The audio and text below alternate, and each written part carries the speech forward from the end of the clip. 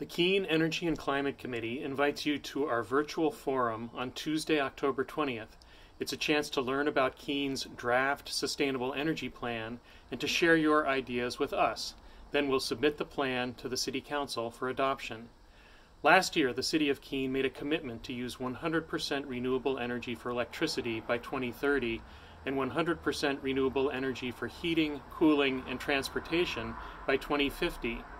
Our vision is for Keene to be a thriving and resilient community powered by affordable, clean, and renewable energy.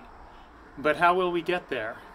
Keene's Sustainable Energy Plan gives us the path forward. To make sure our electricity comes from renewable sources, Keene can purchase energy in bulk to help ratepayers get lower rates and add more renewables to our energy portfolio. Keene can support weatherization programs and make it easier for renters and homebuyers to know the energy efficiency of our buildings. This helps to reduce heating and cooling and save money too. And for a transportation sector powered by renewables, Keene can support the shift to electric vehicles. Join us on October 20th at 6 p.m. for a virtual community forum using Zoom. We want to know what you think.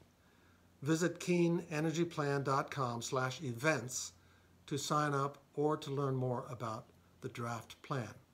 See you there.